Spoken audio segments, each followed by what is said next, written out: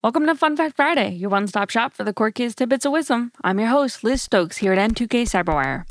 Imagine this there could be as many as 10 billion Earth like planets just in our Milky Way galaxy. Can I have that Milky Way? No, you can't have the Milky Way. That's There's my Milky Way. Yeah, that's right. Billion with a B. Back in 2019, astronomers found that about one in six stars has an Earth sized planet in its comfy, habitable zone. That means tens of billions of potential Earth 2.0s are out there. And get this the search for habitable planets is expanding. We don't need an exact Earth twin for life to thrive.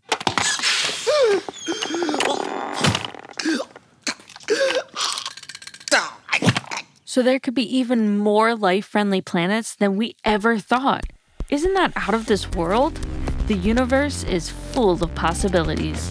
See you soon.